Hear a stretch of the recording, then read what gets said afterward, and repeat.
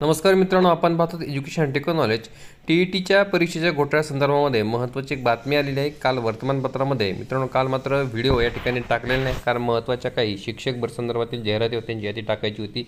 आता मात्र ते या ठिकाणी व्हिडिओ टाकत आहे. घोटाळेबाज उमेदवारांची यादी वेबसाईटवर टाका अशी मागणी मोठ्या प्रमाणामध्ये केली जात आहे. कारण जे टी ई टीच्या परीक्षेमध्ये ज्यांनी घोटाळा केलेला आहे त्या सर्वांना या ठिकाणी दोषी ठरवलेलं आहे आणि त्यांच्यावर या ठिकाणी फौजदारी गुन्हे दाखल केले जाणार आहेत.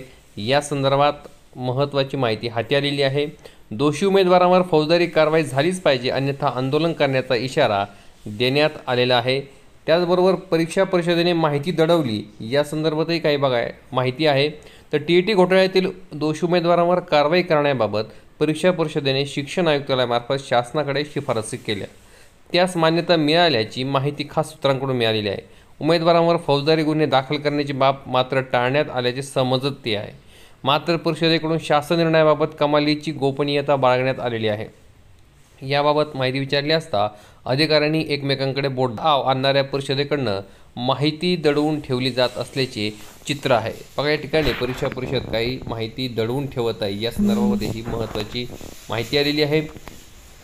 पोलिसांनी या घोटाळ्याचा सखोल तपास केलेला आहे. परीक्षा परिषदेतील निकाल data O M R sheet तपासलेल्या आहेत. यातून निकालात बऱ्याचशा भानगडी झाल्याच्या बाब उघडकीस आलेल्या आपल्या सर्वांना माहिती आहे की राज्यामध्ये तब्बल या ठिकाणी सोळा हजार पाचशे ब्याण्णव उमेदवार उत्तीर्ण झाले आहेत या परीक्षेचा निकाल हा परीक्षा झाल्यानंतर तब्बल आठ महिने लावला होता.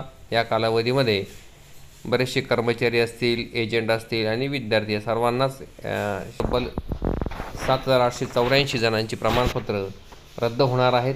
ही महत्त्वाची बातमी आहे आणि त्यांच्यावर फौजदारी गुन्हे दाखल व्हावेत. या संदर्भामध्ये सुद्धा आंदोलनं किंवा मागणी मोठ्या प्रमाणात जोरकस केली जात आहे. मित्रांनो ही टी ई टीच्या घोटाळ्याच्या बाबतीमध्ये महत्त्वाची अपडेट होती. असे पुन्हा नवीन अपडेट शिक्षक संदर्भातील आपल्या चॅनल येत राहतील. पुन्हा नवीन व्हिडिओ माहिती घेऊन येईल तोपर्यंत धन्यवाद. चैत वंदे मातरम.